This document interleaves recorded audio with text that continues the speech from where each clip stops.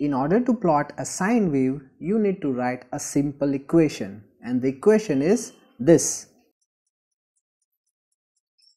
So this is the equation of sine function but you cannot directly plot this equation. So for that you need to assign a variable to this equation. Let's suppose we define x is equal to sine 2 pi of t. Now here f means frequency which is fixed and t means time which is continuously changing.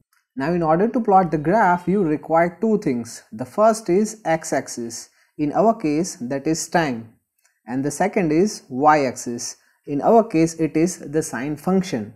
So what we are going to plot? We are going to plot sine function with respect to time. So here we have defined sine function but we are supposed to define time. So before this equation we are going to define the time. So here in line number 1 we have defined the time. It starts from 0, it goes up to 1 and the step size is 0.01. So the time is defined. Now what else we supposed to define? We supposed to define the frequency. So let's say frequency is equal to 2 hertz. Anything, you can take anything. Here we are taking 2 hertz. So time we have defined, frequency we have defined. Now it's time to plot the graph and for that we are going to use the equation plot t comma x. And now let's run.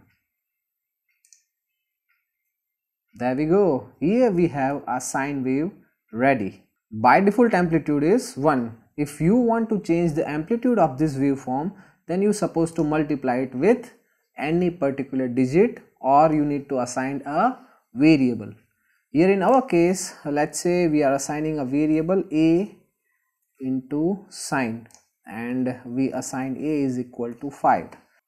Let's run. And now you can see the peak magnitude is 5. But here you can see that the graph it not looks professional, does not look appropriate. In order to make this simple graph more attractive and more professional, you supposed to do a small thing and doing that small thing you can create your this simple graph can turn into this type of attractive graph. So if you want to learn that you must watch this video.